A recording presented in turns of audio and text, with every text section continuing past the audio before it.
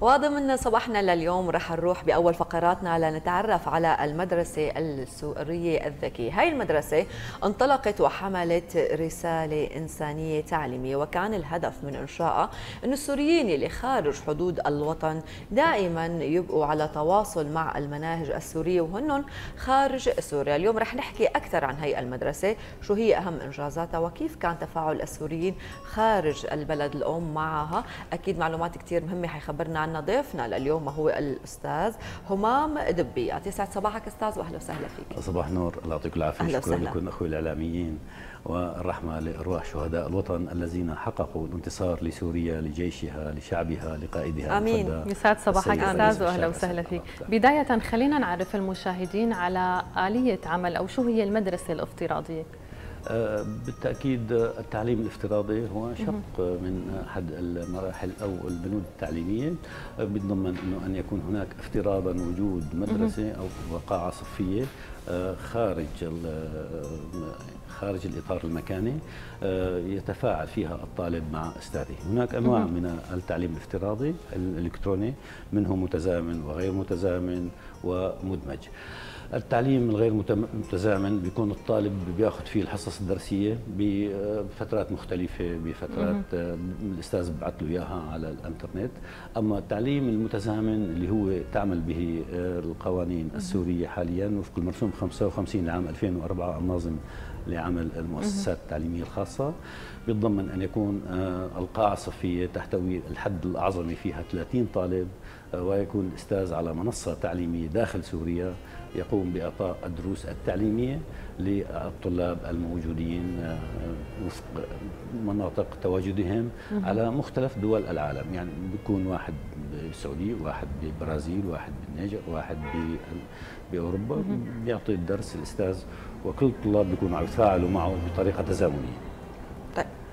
طيب أستاذ قبل ما هيك نكفي حديثنا معك اليوم ونتعرف على هذا الإنجاز اللي عم يطلع خارج حدود سوريا. يعني وأكيد اليوم في أهداف كثير مهمة حنحكي عنها ولكن خلونا نروح لهذا الكليب التعريفي بالمدرسة ونرجع. لأننا منكم وإليكم لأنكم حاضرنا ومستقبلنا ولأننا تعاهدنا أن نبهر العالم معا أنشئت المدرسة السورية الذكية الافتراضية الحاصلة على الترخيص الأول في سوريا لتكون لأبنائنا بارقة أمل لمستقبلهم المشرق.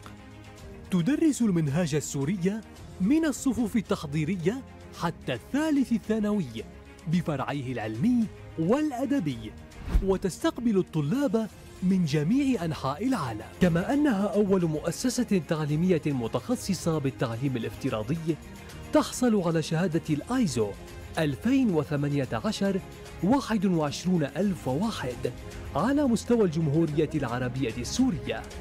وأول مدرسة تجري امتحانات لطلاب شهادة التعليم الأساسية والشهادة الثانوية العامة خارج حدود سوريا. كنا عم نشوف بعض المعلومات التعريفية بالمدرسة. اليوم عم نحمل أهداف إنسانية آه، تعليمية. اليوم يعني أي حدا عم يشوفنا اليوم ممكن يستغرب إنه الشخص اللي موجود خارج سوريا اليوم هو ضمن ثقافات جديدة مجتمعات جديدة انفتاحات جديدة. اليوم شو الهدف اليوم أنتم تربطوا بين هذا الطالب وبين المناهج السورية؟ آه، فعلا سؤال هام جدا. شكرا آه، لك أنسي.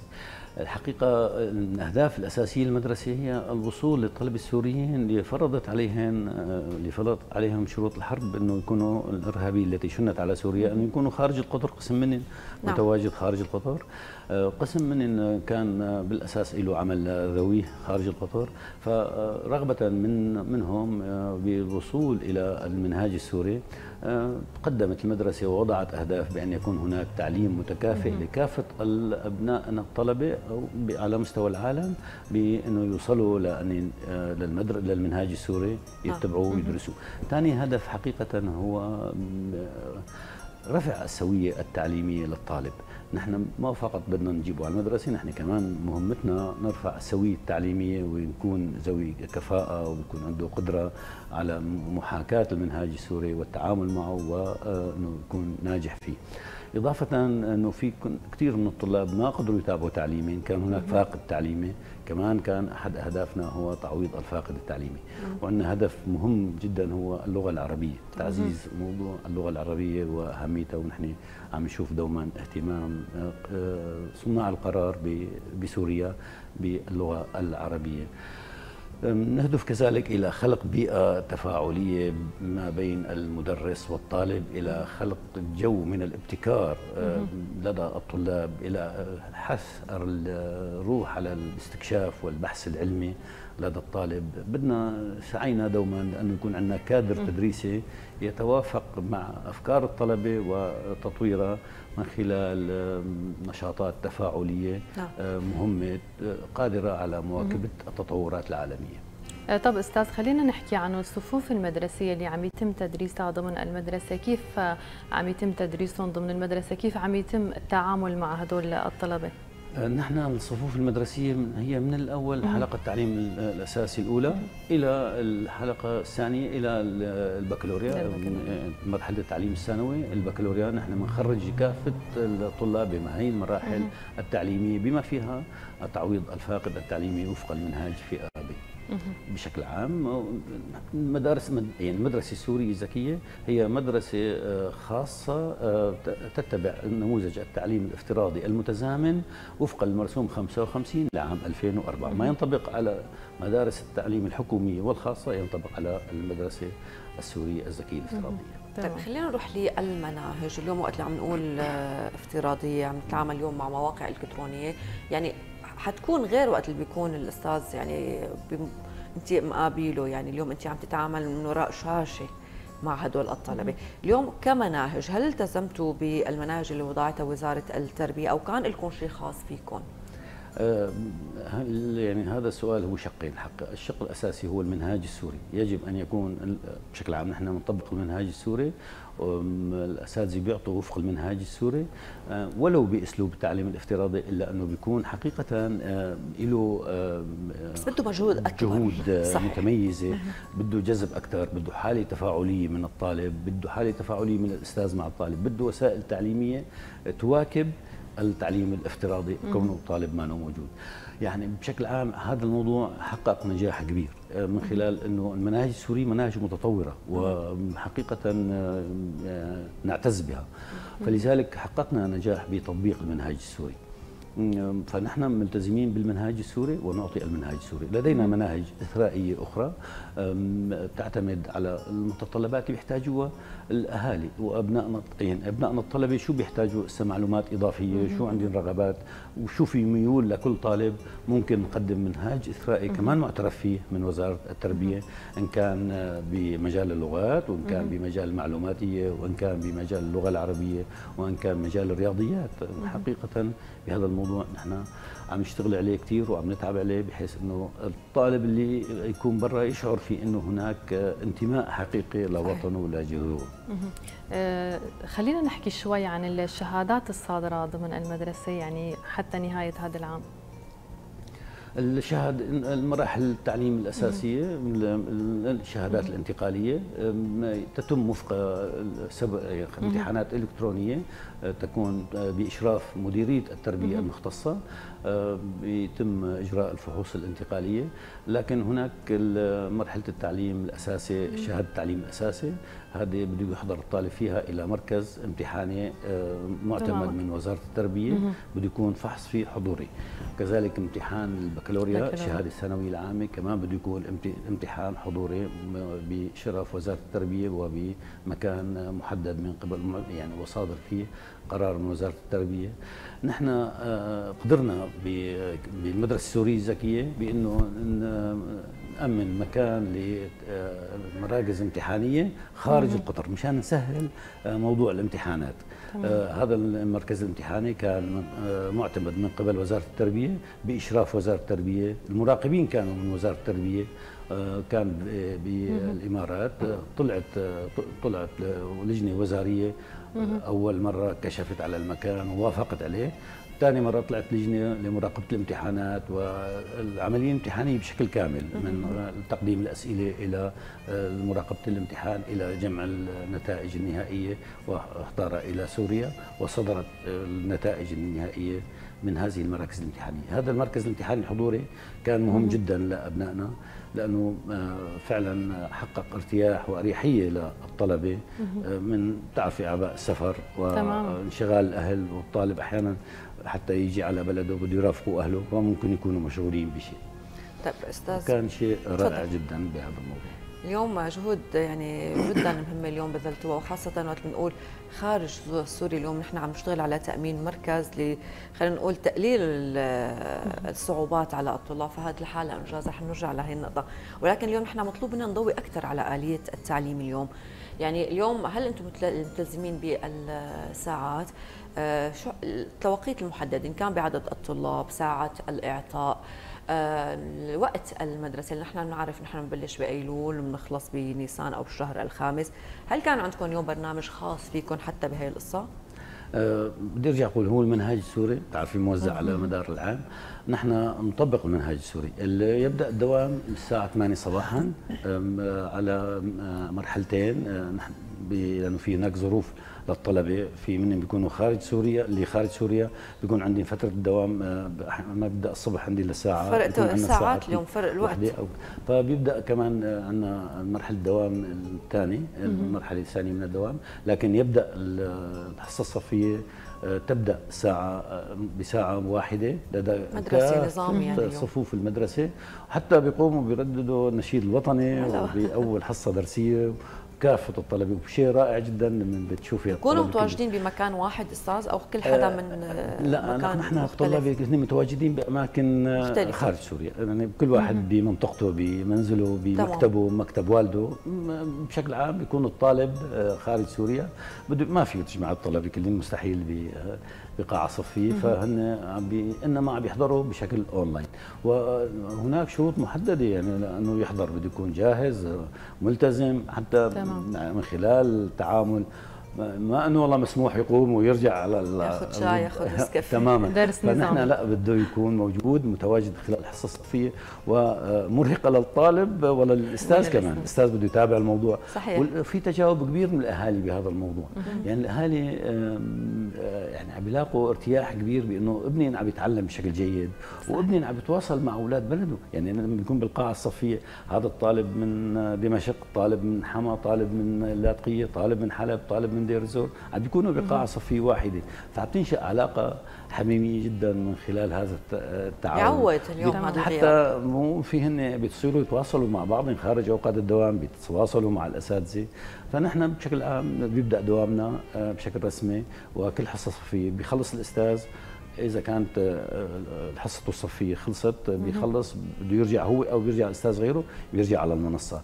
هون بدي أقول أنا كمان المنصات اللي عندنا هي منصات حديثة متطورة تعتمد آه، وسائل وتقنيات آه، مهمة جدا لأنه تحقق لغة تواصل وإمكانية تواصل بكفاءة وبموثوقية عالية جدا جدا. تمام. أستاذ يعني اليوم دور حكينا عن دور الطالب ودور الأهل. كمان المدرس له دور كثير كبير. يعني يمكن بيواجه صعوبات بالتدريس عن طريق الأونلاين. أكيد يمكن تكون أصعب من التدريس وجها لوجه أو يمكن يكون في شروط معينة لانتقاء المعلمين اللي بيدرسوا عندكم ضمن بالمدرسة. خلينا نحكي شوي عن هي الآلية. آه، بالتأكيد آه، أهم شيء إنه نحن قدرنا نأمن فرص تعليمية لكثير من آه، أبناء سوريا اللي بيمتلكوا الشهادات العلمية اللي بتاهلهم لأن يكونوا معلمين. الشيء الثاني عم بيكون الانتقاء انتقاء من خلال لجنة تختبر هذا هذا المعلم إنه قادر على إنه يكون بكفاءة جيدة، بقادر على إنه يوصل المعلومة عن طريق الإنترنت للطالب. بشكل مهم عم نشتغل على هالموضوع طبعا. هذا. نحن ما بكفي هيك كمان. نحن عم نعزز قدراته ونطوره. يعني المعلم لما عم بيبدا آه، أحيانا بيكون في احتياج لبعض النقاط في نقاط ضعف في نقاط قوة. نحن عم نستفيد من هذا الموضوع. وهون بدي أذكر ان إحنا جبنا آه، تعاقدنا مع خبير ياباني في التعليم الدكتور حسين زناتي. هو بالأساس من مصر حقيقة لكن يعمل في مجال التعليم آه، في اليابان. من أجل طرائق التعليم وتحديث أساليب التعليم واهتمام بالعملية التعليمية للأستاذ. مثل ما بتعرفوا جودة التعليم أحد اركاز الركائز الأساسية هو الأستاذ.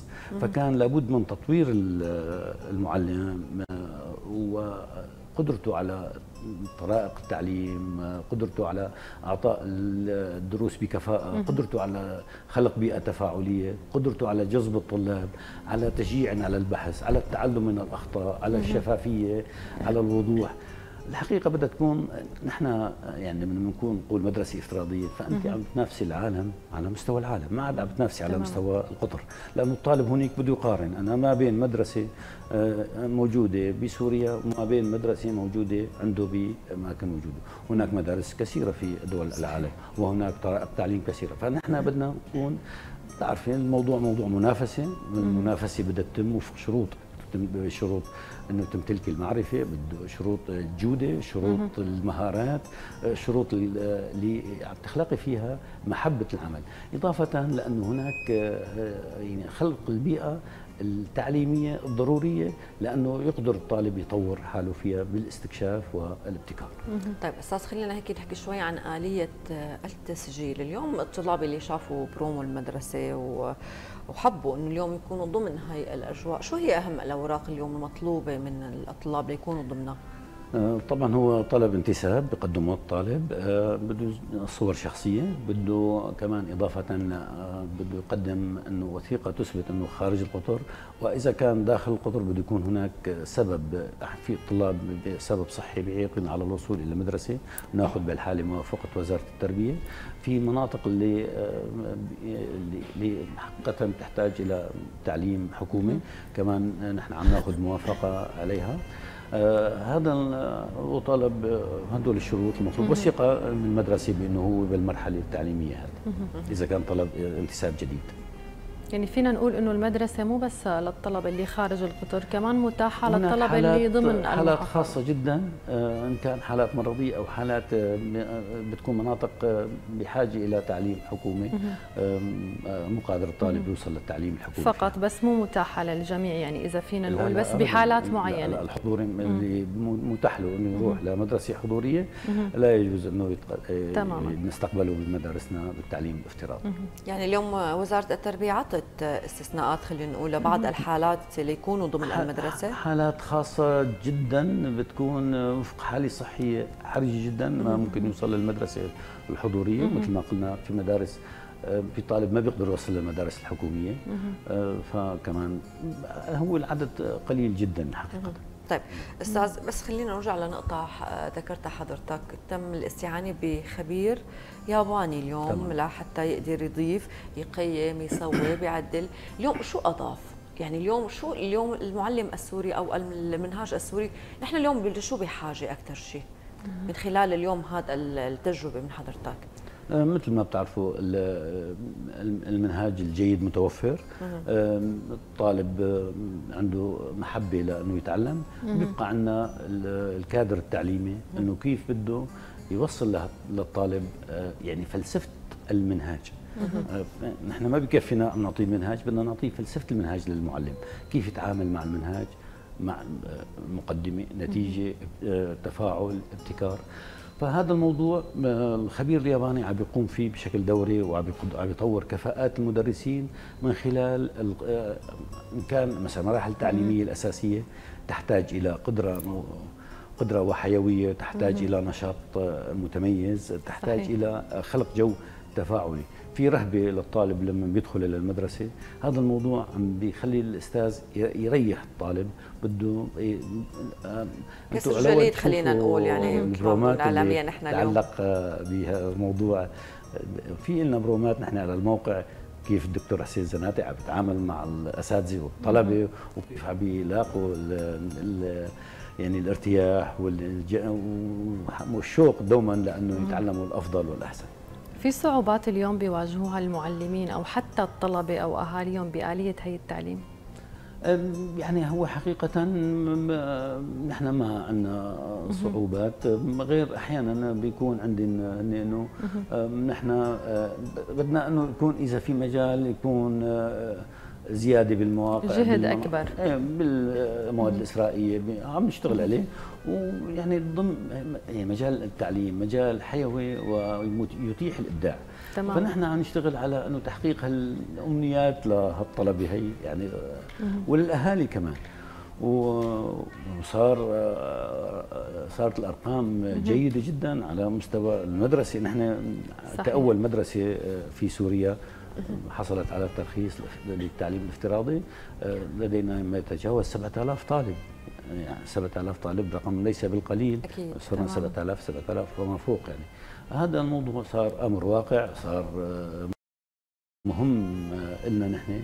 صار مهم لسوريا حقيقة للمستقبل. أستاذ همام اول شيء بدنا نقول لك شكرا لحضورك لليوم وشكرا لكل المجهود اللي عم تقدموه. أكيد تحياتنا وتصبيحاتنا لجميع كادر المدرسة. نحن اليوم فخورين بأي إنجاز سوري عم يتقدم ضمن الظروف اللي عم نمرق فيها. قادرين اليوم تثبتوا إنه نحن موجودين وخاصة بالمجال التعليمي. شكرا لك ونحن هيك بانتظار كل شيء جديد منكم. الله يعطيكم العافية. نحن كمان بنقول شكرا لكم أنتم. شكرا للاهتمام بالتعليم. نحن بنعرف دوما إذا بدك تأمن مثل ما بيقولوا الاحتياجات آه، آه، بدك تهتم بالزراعة. إذا بدك تأمن ما يتعلق بالتطوير تهتم بالصناعة. إذا بدك تبني وطن لازم نهتم بالتعليم. بالتعليم. دائما نحن القطاع الأكبر.